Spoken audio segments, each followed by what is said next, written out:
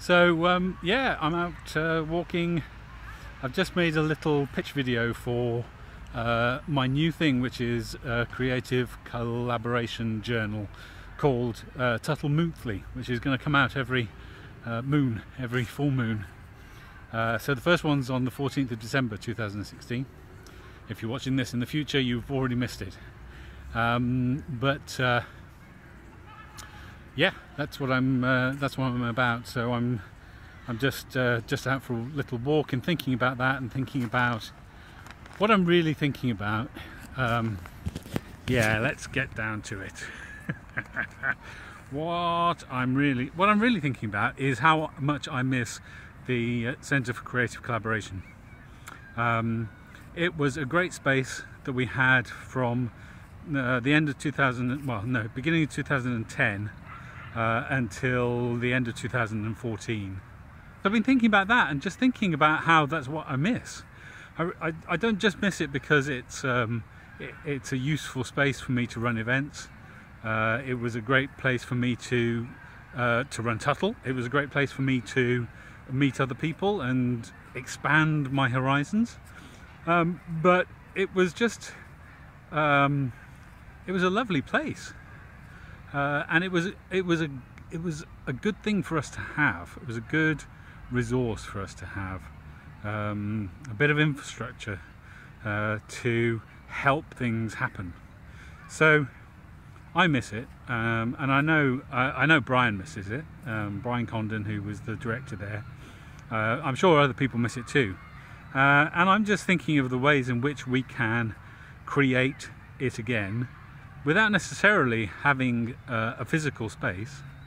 Um, I mean, we may use maybe we'd use somebody else's space for a, a period. Somebody would be uh, maybe some sort of collaboration partner with with the centre, uh, and the deal there would be that they gave us some space. Um, let's see. I don't know. Uh, it just feels to me like next year is the year when we need creative collaboration more than ever. And for London to not have a space like that, for London to only have spaces where um, there are big barriers to entry and big barriers to collaboration, uh, which is you know what we've what we've got a lot of the time. You know, most of the co-working spaces we've got are, are great and lovely places if you're running a business and you know what you're going to do uh, and you've got some money behind you. Um, but for the kind of thing that we need, which is the kind of stuff that starts projects off, that gets things off the ground, it's really difficult uh, because there isn't there isn't the kind of free space and I mean free. I don't just mean free in in the uh, in the sense of free beer. I mean you know free in the sense of free speech. Um, there aren't that many spaces, and the ones that we do have are have other things wrong with them. So um, yeah, I think uh, the the thing is that we had a community there. We have a community which has continued.